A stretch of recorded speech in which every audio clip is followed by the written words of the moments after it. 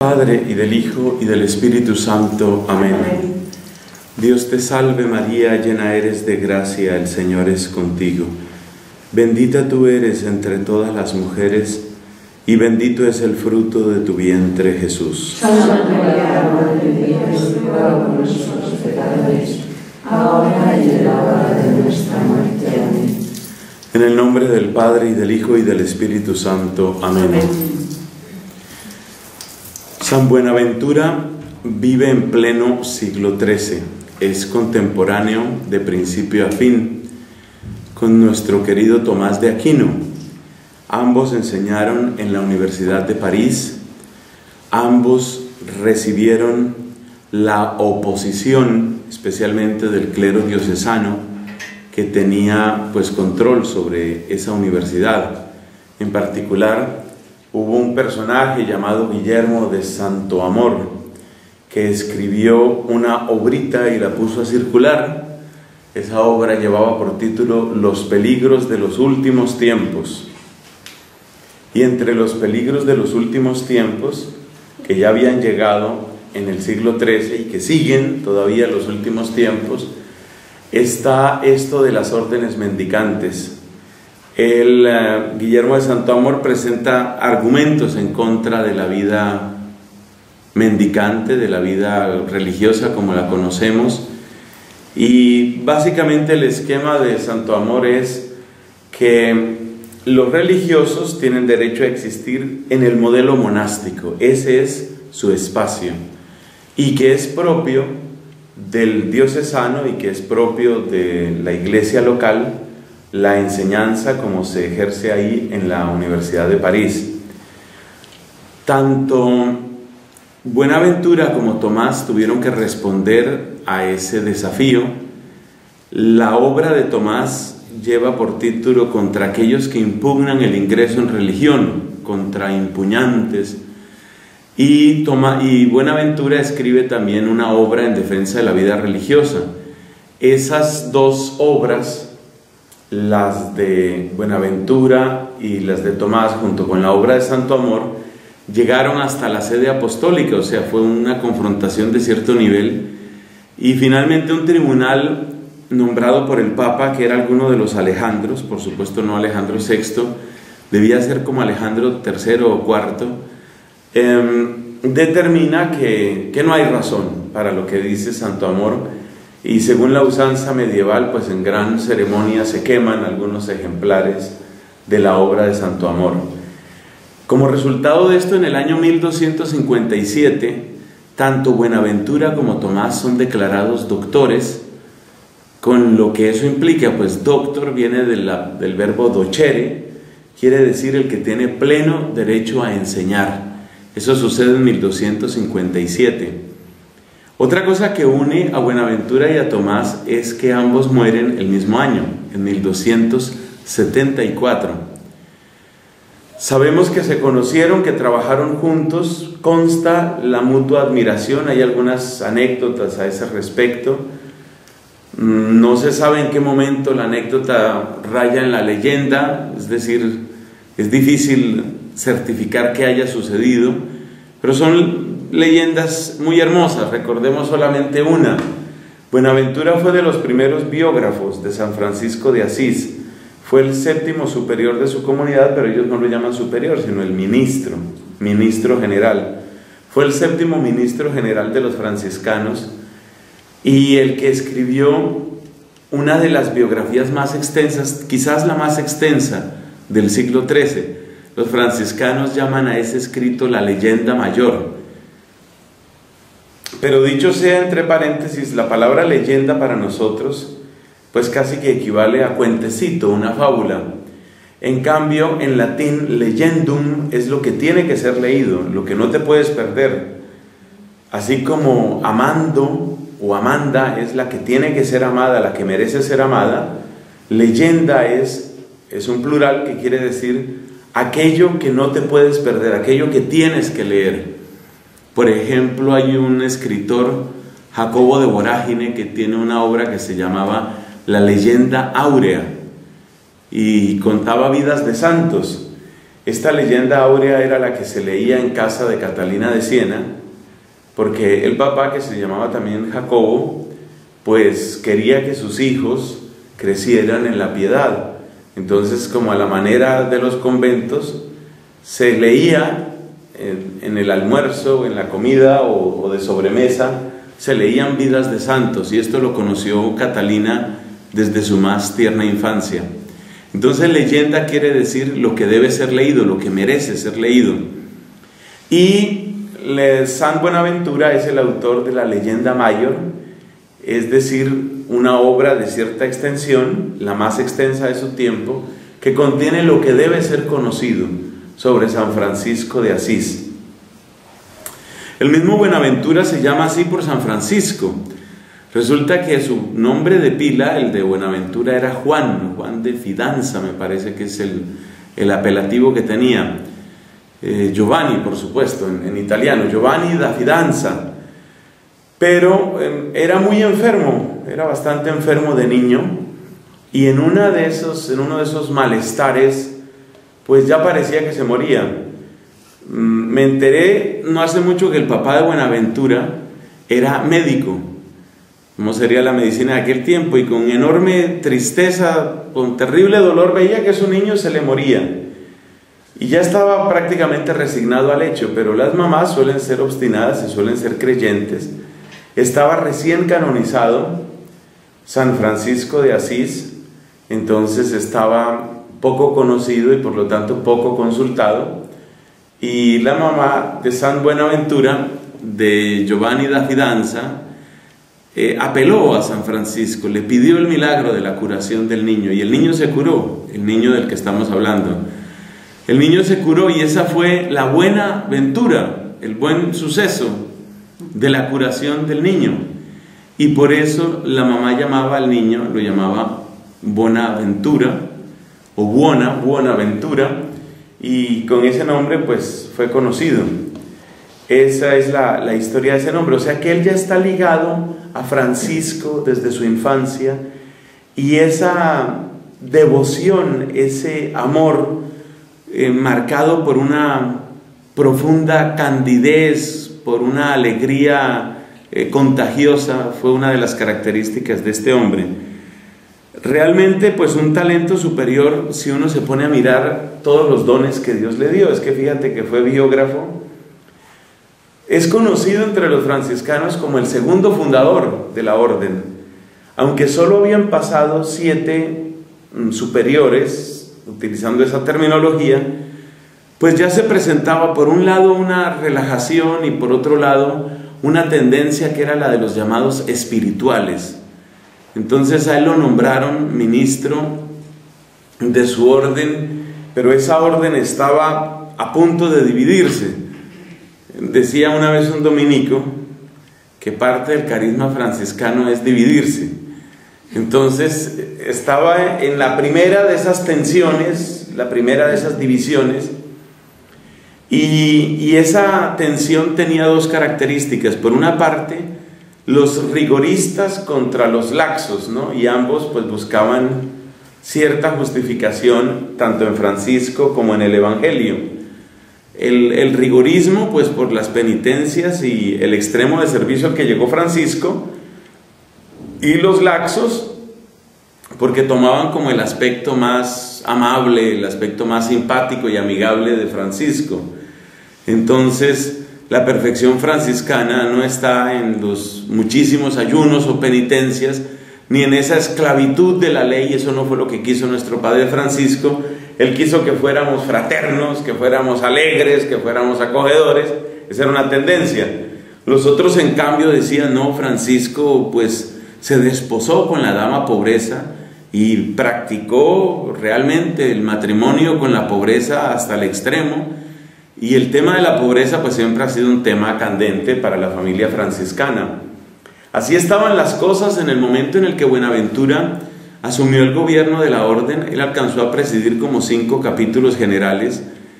Y en esa época de tantas tensiones pues manifestó la enorme sabiduría, la enorme prudencia que tenía para gobernar en un estado de cosas tan complicado y también sin duda creció en esa virtud de la prudencia. Esa es una diferencia bastante grande con la figura de Tomás, porque Tomás básicamente pues fue profesor, profesor y profesor. En cambio, Buenaventura pues sí fue profesor, pero también superior de su orden y también obispo y también cardenal y escritor y, y en esa multitud de oficios y de responsabilidades, se puede decir que la experiencia eclesial de Buenaventura, experiencia directa, es supremamente amplia. Eso conviene tenerlo en cuenta. Mm, ¿Qué más decimos de la formación de Buenaventura? Franciscano, pues, hasta los tuétanos, fue alumno de uno de los grandes teólogos de la Alta Edad Media, es decir, Alejandro de Ales. Nosotros estamos acostumbrados a oír de la suma teológica y la suma contra gentiles, pero ellos, eh, hombres como Tomás o como Buenaventura, no fueron los primeros en escribir sumas. Una suma, como sabemos, es como una especie de compendio y al mismo tiempo pues indica lo más alto dentro de algo. Entonces la suma alensis, o sea, la suma de Alejandro de Ales, había servido de material de estudio a Buenaventura. Y él tuvo siempre una relación de muy profundo afecto, es un hombre también muy afectuoso como San Anselmo, una relación de mucho afecto con su orden y, en particular una admiración, eh, podría decirse, muy abierta con Alejandro de Ales. Pero Buenaventura, en el momento de escribir sus obras, no sigue el esquema de Alejandro de Ales, seguramente contenido sí, sino sigue lo mismo que Tomás al gran, a la gran referencia de la época que era Pedro Lombardo. Recordemos que Pedro Lombardo pues tiene su obra que se llama Las Sentencias, una recopilación del saber teológico, era como una especie de enciclopedia de teología, y esa enciclopedia de teología era la que estudiaban pues los que iban a ser licenciados en teología. Entonces, eh, el proceso era, ya lo dijimos la vez pasada, pues dos años de Biblia y después unos dos años de estudio de las sentencias de Pedro Lombardo. Y luego cuando ya escribían sobre Pedro Lombardo y cuando ya tenían, entraban en las disputas universitarias, pues eventualmente recibían el título de doctor. O sea que más o menos el procedimiento era algo así como bachiller en teología, licenciado en teología, doctor en teología guardando un poco las proporciones, es lo que se sigue haciendo hoy, aunque los tiempos pues han crecido mucho más, entonces el bachillerato en teología pues suele tomar muchos más años y la licenciatura otros tantos y el doctorado muchos más, pero el esquema más o menos es el mismo. En las obras de San Buenaventura se destacan el deseo de fidelidad a la iglesia, el deseo de fidelidad a la autoridad local, Buenaventura es más obediente que Santo Tomás, para lo bueno y lo malo que eso tenga, es más obediente y, y también en el hecho de que varias veces comenta que él no quiere ser original. Es muy interesante esto, se trata de un hombre muy brillante, con una gran capacidad personal, pero él insiste en eso, que no le interesa ser original. Él quiere exponer la fe de la iglesia. Él quiere ofrecer el tesoro común. Y en esa humildad, pues, es evidente su, su sinceridad. Mm, conviene recordar una última diferencia desde el punto de vista de enfoque o de, o de marco de referencia teórico, Buenaventura va mucho más en la línea de San Agustín, eh, mientras que Tomás, alumno de Alberto Magno, pues quiere integrar de un modo bastante completo la sabiduría que viene del mundo pagano, concretamente de Aristóteles. Entonces, en ese sentido hay una diferencia bastante marcada, porque Mientras que, mientras que Tomás le da toda esa importancia a Aristóteles, y muchas muchos de los términos aristotélicos pues entran completamente, aquello de acto, potencia, materia, forma, las categorías, la sustancia, eh, todo esto que se llega a convertir como en una especie de armazón permanente en el pensamiento de Tomás, no existe así en Buenaventura.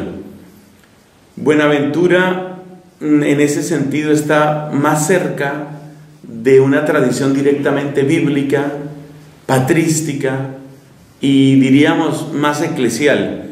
De hecho tiene palabras de cierta desconfianza, por no decir desprecio, frente al uso de la sabiduría pagana.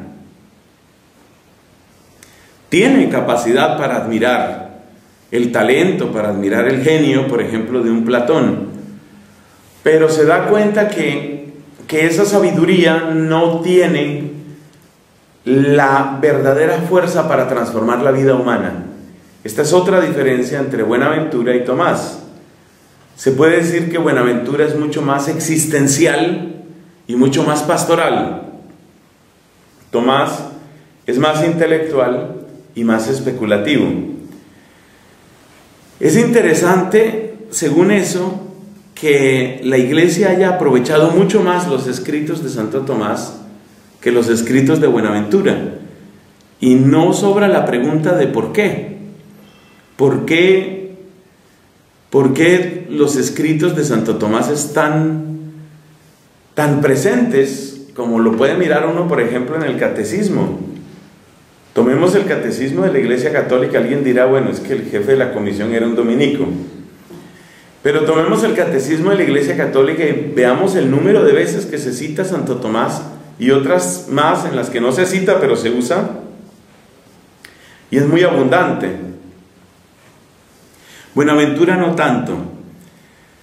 Yo creo, por aventurar una pequeña explicación, yo creo que la razón está en esto, en que finalmente cuando la iglesia trata de exponer su fe, cuando trata de presentarla, incluso de defenderla, pues de lo que se trata es de enfrentar dificultades. Es decir, si la teología hubiera que hacerla únicamente para los convertidos y únicamente para los creyentes, y si ese fuera como su uso principal y primero, es posible que tendrían mucha más fuerza, por ejemplo, un San Buenaventura o un San Anselmo. Pero como continuamente ha sucedido en la historia, que la iglesia tiene que enfrentar cuestionamientos duros que vienen, por decirlo así, desde fuera, entonces resulta de particular utilidad un pensamiento como el de Santo Tomás, que toma precisamente a uno de fuera es decir, a Aristóteles, y desde las categorías del que no tiene fe, aprende a decir la fe y logra exponer la fe. Entonces, por la condición histórica que tiene la iglesia, que según vemos, tiene que defender la fe muchas veces frente al que desconfía de la autoridad de la iglesia y frente al que desconfía de la revelación, pues el que no tiene la revelación, el que no cree en la revelación y el que no cree en la iglesia, ¿qué usa? Pues la razón. Y utiliza una razón sin referencia a una tradición creyente. Eso es paganismo. Por eso es tan valiosa la postura de Tomás de Aquino.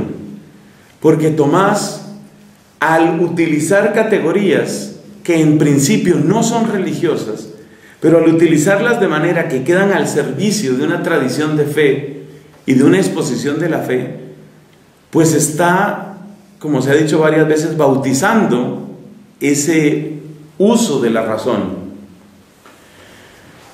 Entonces, yo creo que esa es una razón muy importante o válida, la estimo válida, sobre por qué Santo Tomás ha sido tan, tan valioso para la Iglesia Católica. Una persona que tiene tanta capacidad de utilizar la razón, llamémosla sin apellidos, la pura razón humana, para exponer el contenido creyente, es exactamente lo que la iglesia ha necesitado muchas veces. Y si nosotros pensamos en los grandes debates de nuestro tiempo, sobre todo debates éticos, pues vemos que la situación sigue siendo esa. La persona que está a favor de la despenalización o de la liberalización del aborto voluntario, pues normalmente no es una persona de iglesia. De hecho, pues se supone que no está comulgando con lo que dice la iglesia. Entonces, si a esa persona yo me le acerco con una tradición de padres de la iglesia y con una tradición litúrgica y una tradición espiritual, pues su respuesta será la que oímos varias veces, no muchas, pero sí algunas, cuando asomaba algún tema de religión, de iglesia o de Dios en las discusiones eh, de tipo legislativo aquí en España. La respuesta siempre es, mire, su opinión es suya, su fe es suya. Aquí no quiera imponer su fe sobre todos. Entonces, de hecho, la iglesia ha tenido que aprender a defender la vida, a defender el matrimonio, a defender el amor humano desde el terreno de una razón que no se abre inmediatamente a los recursos y a la riqueza de la fe. Bueno, esa es como una especie de paréntesis sobre por qué esa paradoja, que Buenaventura es más existencial, Buenaventura es más pastoral, y sin embargo la iglesia, que está preocupada por la existencia humana, por la vida de la gente, y que tiene ante todo un ministerio de pastoreo, pues sin embargo resulta utilizando más los, los escritos de un Santo Tomás de Aquino. Si uno, por ejemplo, hablemos del caso vuestro, si se quisiera leer un autor, me parece a mí que es mucho más fácil la lectura, fluye con mayor facilidad la lectura de un hombre como Buenaventura. Tiene su obra que se llama Breviloquio. El Breviloquio es el compendio de otra obra mucho más extensa que se llama El itinerario de la mente hacia Dios. Y tiene otra obra que se llama La Reductio Omnium Arsium in Theologiam, o cosa parecida, que es algo así como la reconducción, el llevar todas las ocupaciones humanas a la teología. Bueno, a ver, aclaremos algo sobre el latín. En castellano reducir es empequeñecer.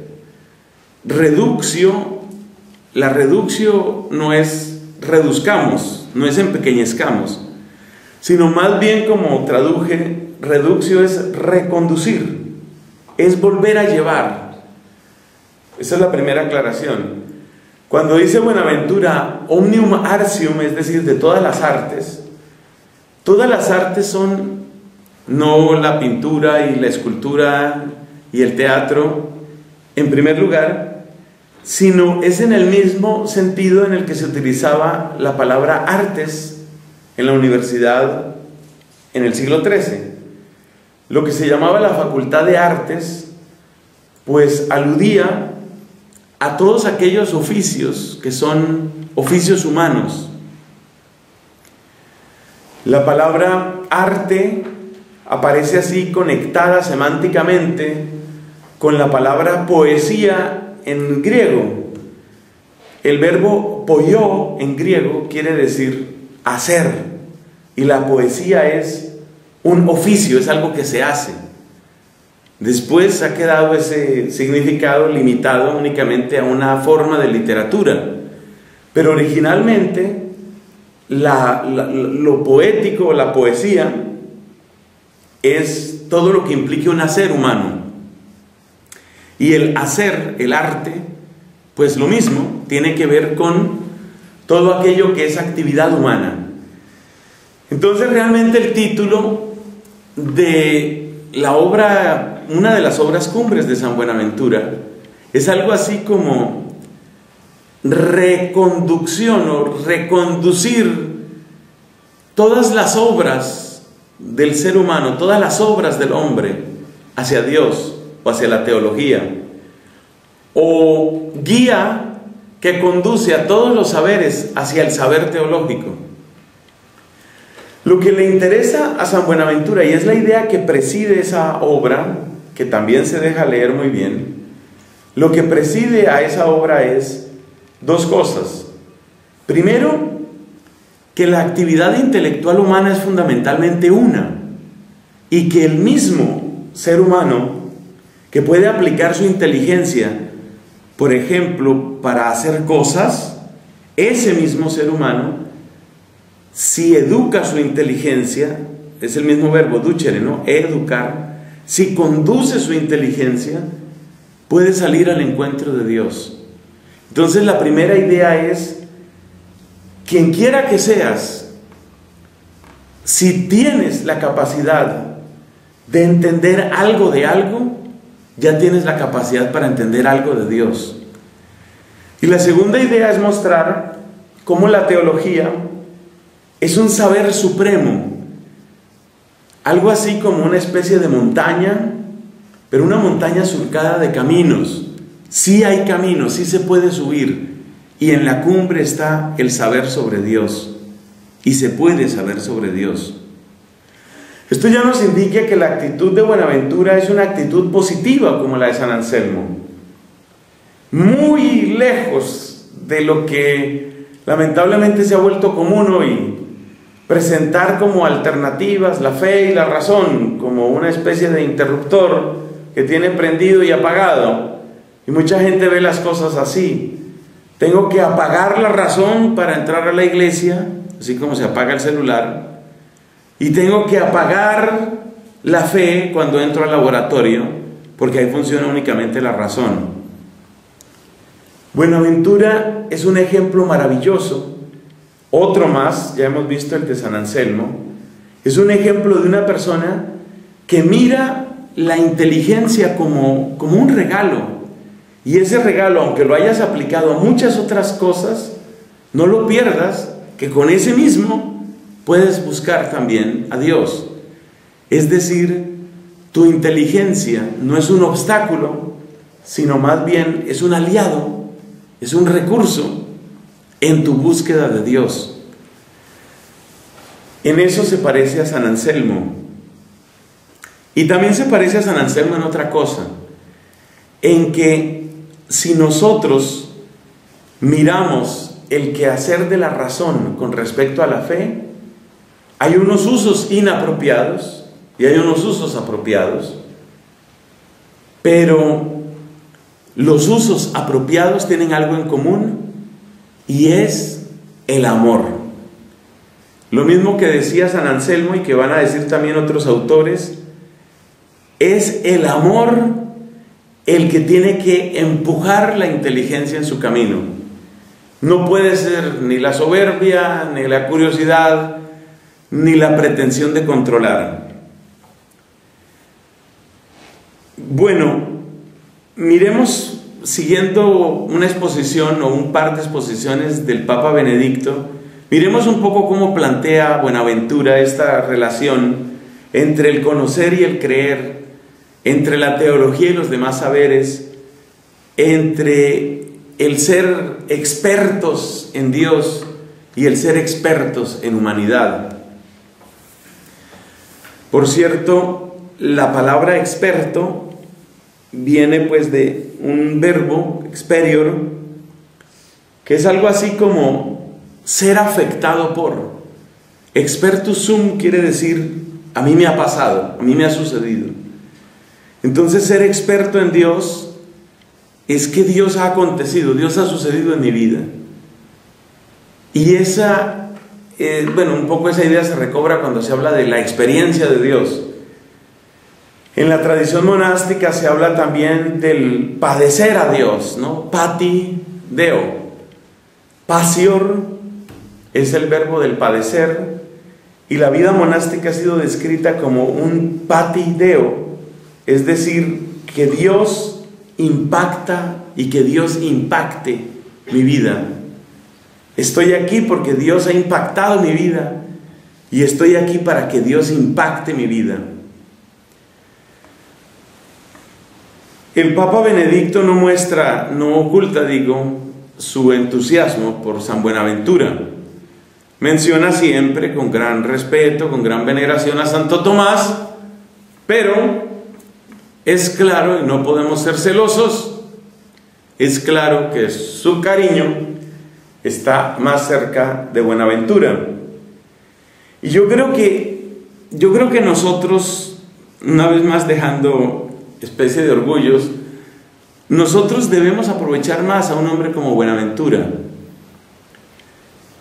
Por la razón, por la misma razón que dije antes del éxito de Tomás. Si el gran éxito de Tomás es el uso de la razón como tal, la razón como don natural, que desde luego queda al servicio de un contenido más allá de la razón, pues eso es lo propio del diálogo con el mundo. Pero una vez que estamos apasionados por Dios, una vez que nos ha enamorado, una vez que somos de casa, una vez que ya no tenemos que demostrar frente a otros lo que creemos, sino que ya sentimos que únicamente nos mueve el amor de saber más, yo creo que Buenaventura tiene mucho, mucho que darnos. El Papa Benedicto hizo su tesis doctoral sobre San Buenaventura y por lo menos en dos ocasiones se ha referido muy expresamente a él. Hacia marzo del año 2010, esto lo encuentran ustedes en la página web del Vaticano, en las famosas catequesis que hacen los miércoles los papas. Creo que esa tradición la inició Pablo VI, no sé si estaba ya antes. Entonces, pues hacia marzo de 2010, el Papa Benedicto dedicó tres catequesis a San Buenaventura un poco sobre su vida, otro poco sobre su obra y otro poco en concreto sobre su visión de la teología. Y luego pues se han inventado esto que llaman los premios Ratzinger. Los premios Ratzinger son algo así como un Nobel, como un premio Nobel para la teología. En el año 2011 por cierto, un sacerdote español, Olegario González de Cardedal, fue galardonado con ese premio. Bueno, en la ceremonia de entrega de los premios Ratzinger del 2011, pues habló el Papa, él, por supuesto él está ahí, y ahí tomó como referencia, aunque fueron solo tres párrafos, su discurso fue muy breve, pues aprovechó sus tres párrafos para hablar de su muy amado San Buenaventura. Y por supuesto lo hizo muy bien y con mucho contenido. Bueno, vamos entonces a los escritos. Ya hemos dicho que cosas que se pueden leer son el breviloquio, el itinerario de la mente hacia Dios y la reducción o reconducción de todos los saberes hacia la teología. Tiene muchas más obras, muchas más. Hay una que no la he leído, pero que creo que debe ser muy interesante, que es sobre cómo ser un buen superior. Y entonces él hace la comparación con los serafines del capítulo sexto. ¿De? ¿De quiénes? De Isaías. Claro que esos no son serafines, sino querubines. Pero en todo caso él habla ahí de serafín. Bueno, los querubines del capítulo sexto de Isaías tienen tres pares de alas, o sea, tienen seis alas. Entonces, según San Buenaventura, que tiene experiencia de ser superior y de manejar problemas y gente complicada y gente extremista y gente depresiva y gente desanimada y gente escandalosa y todo lo que tiene que manejar un superior en esas condiciones, dice que el superior tiene que ser un querubín. Un querubín y como buen querubín tiene que tener seis alas. Y entonces cada uno de los capitulitos es un ala. Todo muy tierno y muy franciscano como debe ser. Entonces el querubín tiene que tener seis alas, pues vamos a contar cuáles son las seis alas del superior. Entonces ahí cuenta que, por ejemplo, tiene que tener espíritu de justicia, tiene que tener oración, tiene que tener, bueno, Ahí hace la descripción del perfecto superior. Así que son muchas más las obras, pero aquí únicamente mencionamos esas con la viva esperanza de que alguien se anime, porque uno se puede animar un día. Y uno dice, hombre, si, se, si están esas obras, pues están para nosotros, están para aprovecharlas. Bueno, hablemos sobre el tema de la razón. ¿Cómo ve este hombre la razón? San Buenaventura en el prólogo a su comentario a las sentencias, lo mismo que Santo Tomás ya dijimos, Buenaventura hizo un, un comentario a las sentencias de Pedro Lombardo. Habla de un doble uso de la razón. Quien está expresándose así es el Papa Benedicto, refiriéndose a qué enseña Buenaventura, ¿no? Un doble uso de la razón. Hay un uso de la razón que es inconciliable con la naturaleza de la fe. Y a eso solemos llamarlo racionalismo. Una cosa es ser racional y otra cosa es ser racionalista. Hay un uso que es inconcebible con la naturaleza, de inconciliable con la naturaleza de la fe. Y otro, en cambio, pertenece a la naturaleza de la fe. Fíjate el parecido con lo de Anselmo. Para Anselmo también lo mismo, ¿no? Hay un modo de razón que aleja, hay un modo de razón que acerca. Bueno, ¿cómo plantea la diferencia? ¿Cómo hace la comparación Buenaventura?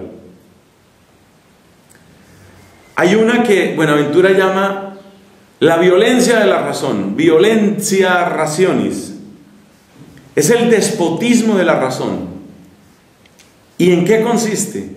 es la razón que quiere juzgarlo todo.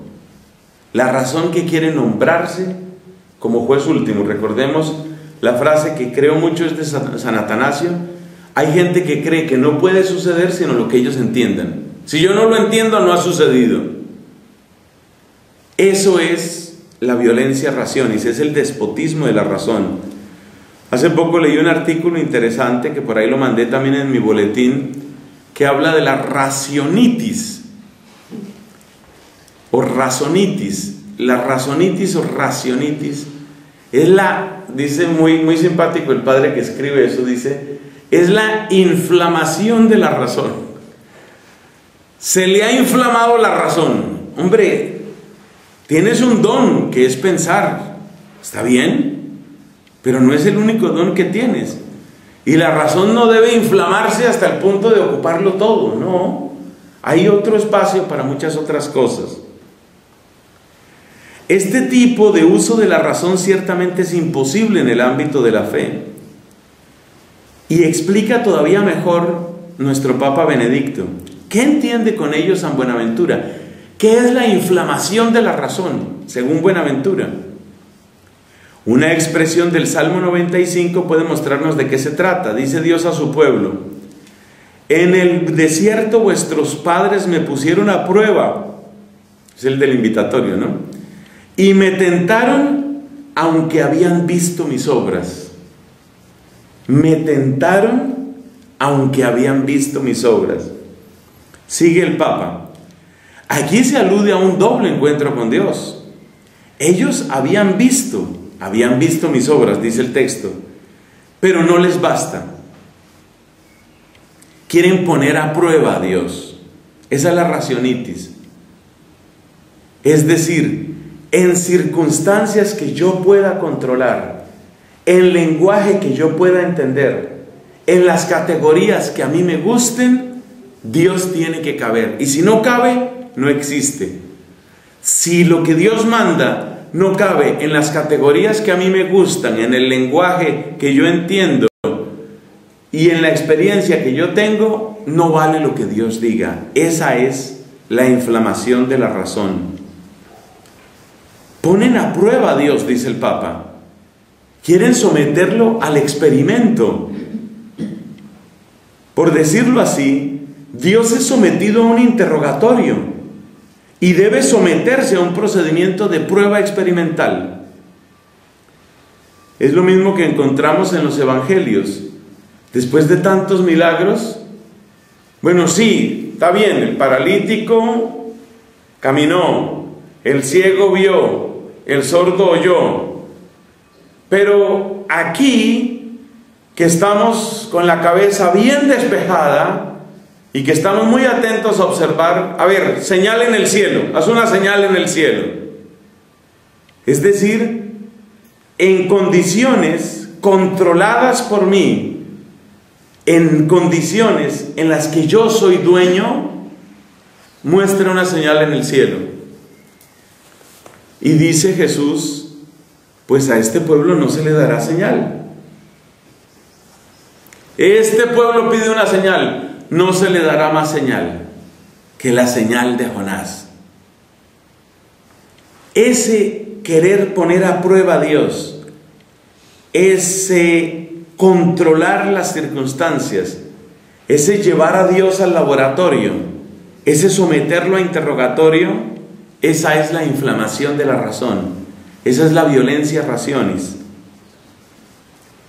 Y termina diciendo el Papa a este respecto, existe un límite a ese uso de la razón.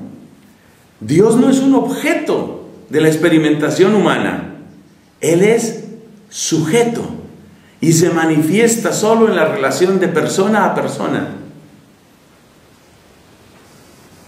Con Dios no se puede hacer un experimento, se puede hacer una experiencia, tener experiencia de Dios. Acuérdate, expertus sum quiere decir a mí me ha sucedido. Entonces yo puedo esperar que Dios suceda en mi vida, pero yo no puedo condicionar a Dios para que en las condiciones que yo controlo se muestre. No es un experimento, puede ser una experiencia, pero esa experiencia es ante todo experiencia de encuentro. Por eso el Papa le, da tanta importancia a esta categoría. Bueno, y el otro uso de la razón, ya vemos qué es, cuál es el uso inapropiado, incorrecto. ¿Cuál es el uso correcto entonces? Lo explica de la siguiente manera. En esta perspectiva, San Buenaventura alude a un segundo uso de la razón, que vale para el ámbito de lo personal. Y este, para mí, tengo, es uno de los motivos por los que el Papa toma una cierta distancia, cierta distancia de Tomás de Aquino, porque la categoría encuentro en Tomás se puede detectar, por supuesto, en uno o en otra parte, pero la manera como Tomás habla del conocimiento no diferencia tan claramente o tan frecuentemente el conocimiento de las cosas, que es conocimiento donde yo controlo, del conocimiento de las personas. Yo conozco las cosas de una manera y conozco las personas de otra manera. Esa distancia en el conocer no está tan clara en Santo Tomás. O sea que ya ves cómo este es un ejercicio de humildad, ¿no? Aquí vamos poco a poco haciendo ejercicios de humildad como buenos dominicos que somos. La diferencia entre el conocer impersonal, el conocer de objetos y el conocer de personas no es tan clara en Santo Tomás. Vamos a ver qué, qué nos encontramos aquí. Dice, el conocimiento en el ámbito de lo, de lo personal. ¿Y dónde entra lo personal en San Buenaventura? Que es un conocimiento marcado por el amor. Entonces yo tengo un conocimiento singular de las personas que me han amado y tengo un conocimiento singular de aquellas personas a las que amo. Imaginémonos el caso de una enfermera. Ella ha hecho sus estudios de biología, anatomía, fisiología. ¿Sabe cómo es un bebé? Lo sabe. Ese conocimiento de las distintas partes de un bebé, lo tiene claro. Pero esa mujer tiene un bebé, queda embarazada, nace su bebé. Y se queda mirando, me imagino yo, como tantas mamás Se queda mirando y mirando y mirando a su bebé y su bebecito y qué cara hace y cómo se mueve y cómo sonríe y cómo duerme, que para mí ese es de los grandes misterios de las monjas dominicas en Colombia. No he tenido, no he pasado una Navidad con monjas dominicas fuera de Colombia. Los villancicos, todos son a dormir al niño. Hay que lograr que el niño se duerma. Entonces yo he hecho una serie de teorías sobre el sueño del niño. Que se duerma para que no canse.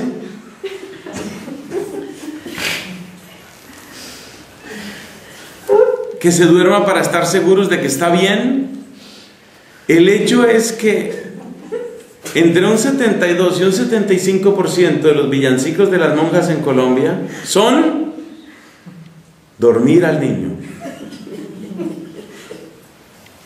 Uno de hombre quiere otras cosas, que el niño juegue fútbol, que el niño camine, que el niño juegue, pero ellas no, que el niño se duerma.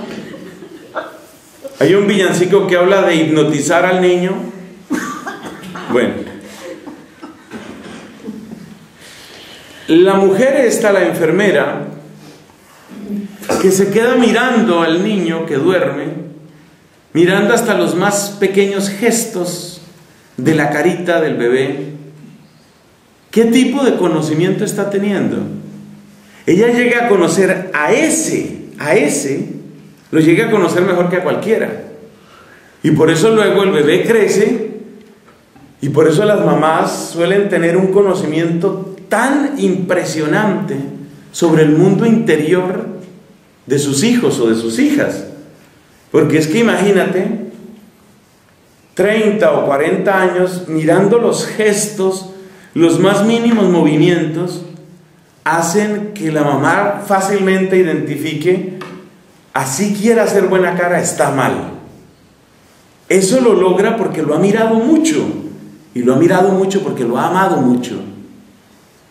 Entonces, para Buenaventura, el tipo de conocimiento que se requiere cuando se trata de Dios no es el conocimiento de ver cómo está ensamblada la Trinidad. A ver, esta pieza queda aquí, esto queda acá.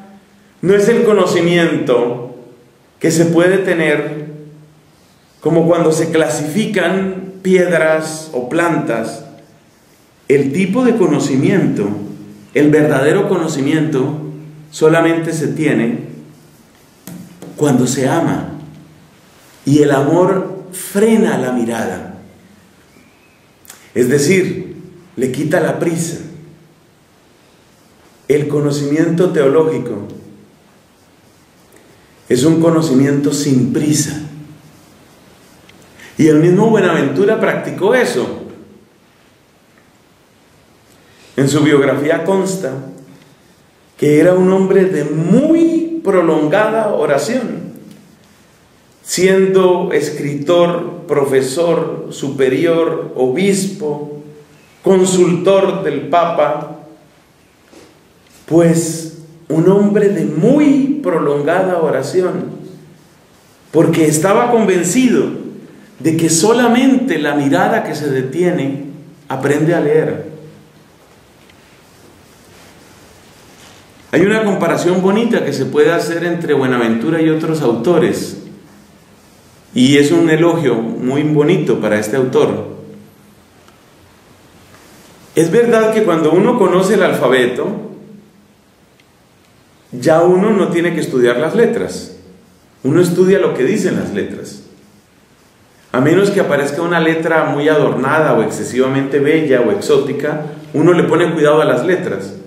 Pero normalmente uno simplemente da las letras por descontadas y como que las letras son transparentes y lo que a uno le interesa es lo que dicen las letras, en un libro, por ejemplo. Pero ¿y qué pasa si yo caigo en cuenta de que Dios puede tener más de un alfabeto? Entonces tengo que aprender el alfabeto de Dios más de una vez. Yo no debo partir de la base de que ya tengo el alfabeto. Cuando se va a una cultura totalmente distinta, Entonces ve uno unos caracteres árabes que a veces no hay que buscarlos lejos, sino que aquí en España se va a Andalucía y ve un poco de caracteres árabes que avisan para el tráfico y que avisan para otras cosas. Pues lo primero que uno tiene que aprender es pues los signos esos que son. Entonces, para Buenaventura la manera de encontrarse con Dios es esa. Yo no le sé el alfabeto, no sé qué alfabeto voy a usar esta vez. Y por eso la primera actitud es la actitud de la contemplación. La primera actitud es la actitud de la escucha.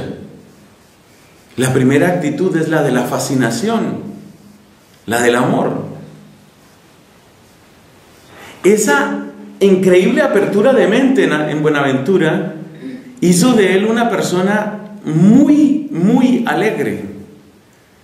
El que fue maestro de él, Alejandro de Ales, decía que en Buenaventura no se estaba seguro si había o no sufrido las consecuencias del pecado original,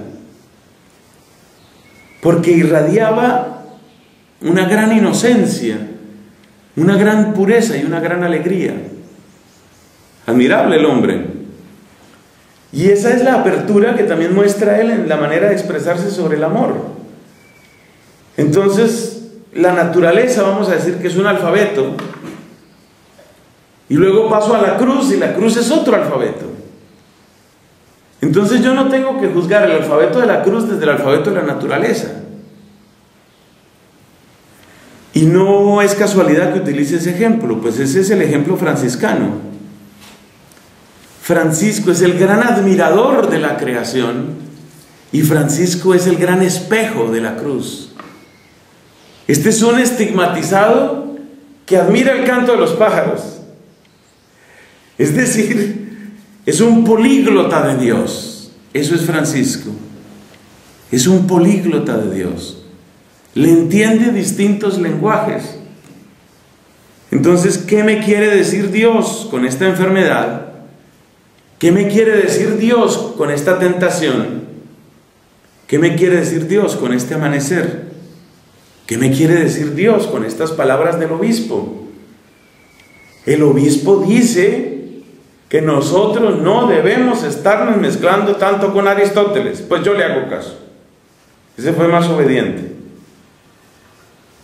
Mientras tanto, los dominicos, que tenemos otros servicios, o sea, cada uno tiene su servicio, entonces dijeron, bueno, pero hay cosas de Aristóteles que se pueden utilizar. Y cada vez fueron ampliando más lo que se podía utilizar de Aristóteles. Y finalmente pues se utilizó todo. Las dos cosas pueden ser útiles, pero quiero destacar el corazón de niño de Buenaventura y la importancia que le da al amor. El que ama entiende. El que ama sabe interpretar la palabra como fue escrita. El que ama no se equivoca. El que se sabe amado tiene preparado el corazón para recibir la palabra donde tiene que llegar. Entonces la razón solo funciona bien a la temperatura del amor. Si le quitas esa temperatura, funciona mal. Todos estos aparatos tienen un margen de temperatura. Cada vez tratan de hacerlos con un máximo margen. Yo me acuerdo que yo tuve una cámara digital hace años, o sea, eso fue el siglo pasado, y tuve que estrenarla en un invierno en Estados Unidos. Pues resulta que no, apenas salías al frío, la pila dejaba de funcionar, no estaba hecha para esa temperatura. Cada vez las hacen mejores. Cada vez son mejores. Pero tienen su rango de temperatura.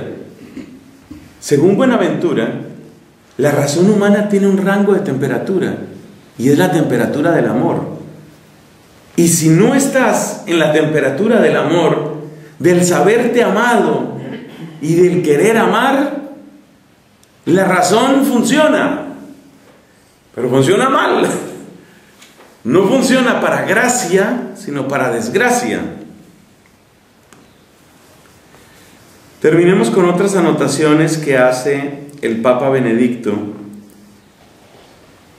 sobre, sobre cómo se mira entonces la teología.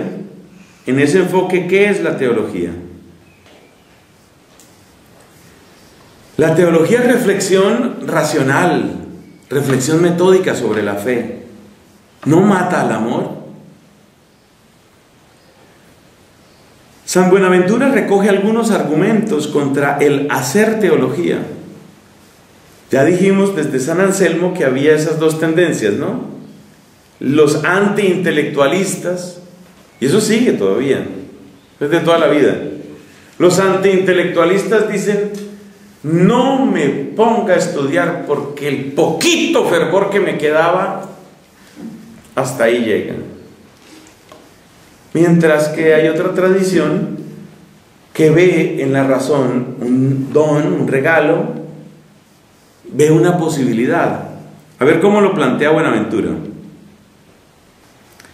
Buenaventura recoge algunos argumentos contra el hacer teología quizás difundidos también en una parte de los frailes franciscanos.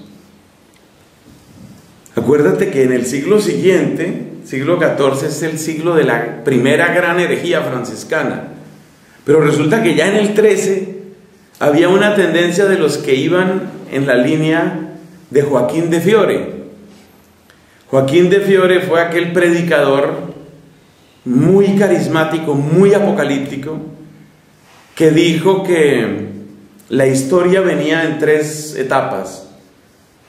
El tiempo del Padre, el Antiguo Testamento. El tiempo del Hijo, el Nuevo Testamento. Y el tiempo del Espíritu. Oye, y algunos franciscanos sintieron que había llegado el tiempo del Espíritu. ¿Y sabes por qué? En parte por el escrito de Buenaventura. Porque resulta que Buenaventura es de los primeros en utilizar la expresión alter Christus, que luego se ha generalizado para muchas cosas. El sacerdote es otro Cristo, etc. Bueno, pero alter Christus lo dijo Buenaventura de Francisco. Es decir, uno que es pobre, casto, obediente, orante, generoso, que predica, que hace milagros, que está estigmatizado por Dios tenemos otra vez a Jesucristo aquí. Entonces, en la línea franciscana, y a partir de la predicación de Joaquín de Fiore, pues venía esa tendencia así un poco exacerbada, un poco exaltada. Pues Francisco ya es el otro Cristo, es decir, ya se ha cerrado esa etapa y viene la etapa última, la etapa del Espíritu. Imagínese el tipo de cosas con las que tuvo que lidiar Buenaventura en su tiempo como ministro general. Claro, Buenaventura se dio cuenta que una vez que una persona se declara única y solamente bajo la autoridad del Espíritu Santo, esa persona no va a obedecer a nadie. Con esa persona no se puede hacer nada. Porque si el Espíritu me lleva para otra parte, pues el Espíritu lo hizo. No fui yo. Oiga, y en mi país tenemos un poco de gente así. Tenemos un poco de gente así. Algunos yo diría que de buena voluntad. Había por ahí un abogado, buena persona, yo lo conocí. Había un abogado que decía tener revelaciones directas de Dios y que él era solamente el amanuense. Entonces cualquier cosa que le fueran a criticar, echarle la culpa a Dios. Yo lo único que hice fue transcribir. Yo teología no sé nada. Yo de religión no sé nada. Mentira, sí sabía. ¿Cómo no iba a saber un hombre que, que tenía pues toda una cultura y... Pero es para contarte ese modo de, de obrar. Entonces, esa es la tendencia antiintelectualista. A mí no me controlen con teologías. A mí no me controlen ni con la Biblia. Claro, ni siquiera la Biblia tenía poder sobre aquellos de Joaquín de Fiore y esa corriente ¿Por qué? Porque la Biblia que es Antiguo Testamento, época del Padre, Nuevo Testamento, época del Hijo. Pero ya estamos en la época del Espíritu, estamos post-Biblia. Lo nuestro es post-Biblia. Entonces no me vengan bien con Biblias. Nosotros estamos en otra cosa muy distinta. Estamos acelerados, el espíritu nos acelera. Los espirituales del siglo XVII, los quietistas, por ejemplo, 16, 17 eran lo mismo. A nosotros el espíritu es el que nos lleva, nosotros no tenemos responsabilidad alguna. La materia no importa, cuerpo no importa. Es el espíritu el que nos va llevando. O sea que hay la tendencia antiintelectualista. La razón vaciaría la fe. Sería una postura violenta hacia la palabra de Dios. Debemos escuchar y no analizar la palabra de Dios. Hay incluso una carta de San Francisco de Asís a San Antonio de Padua que va como en esa línea. La palabra de Dios es para acogerla, como se recibe un tesoro. Si a ti te regalan, por ejemplo, un diamante, y tú llegas a ver, bueno, a ver dónde es que está el brillo de este diamante, corte por aquí, corte por allá, pues acabaste con el regalo. A estos argumentos contra la teología, que demuestran los peligros existentes, el santo responde. Vas a ver que es muy parecido a Anselmo. Es verdad que hay un modo arrogante de hacer teología, una soberbia de la razón, que se pone por encima de la palabra de Dios. Pero la verdadera teología, el trabajo racional de la verdadera y de la buena teología, tiene otro origen, no la soberbia de la razón. Y vuelve a su tema. Quien ama quiere conocer cada vez mejor y más a lo amado. La verdadera teología no empeña la razón y su búsqueda motivada por la soberbia, sino propter amorem eius cui assentit, motivada por el amor de aquel al que ha dado su consenso. Esto se encuentra al principio de su comentario a las sentencias. Bueno, pues se le pueden aprender varias cosas a Buenaventura. Me parece que el puesto que le da al amor, me parece que su su manera de mirar los lenguajes de Dios y me parece que su deseo de encontrar unidad en la cumbre cerca del Señor son enseñanzas. Y me parece que la primacía de la oración y de una vida de fascinación y de contemplación, pues también indica mucho. Indudablemente uno se pregunta, ¿qué tanto de esto tienen claro, todo lo claro que uno quisiera, algunos de los teólogos de nuestro tiempo, porque daría la impresión de que caen exactamente en lo que él, en lo que Buenaventura critica, la soberbia de la razón, lo que yo no entiendo no puede ser y las demás cosas. Bueno, que Dios que nos ha dado estos maestros nos permita aprovechar el contenido de la fe, agradecerlo, celebrarlo y compartirlo. Gloria al Padre y al Hijo y al Espíritu Santo. Como era en el principio, ahora y siempre, por los siglos de los siglos.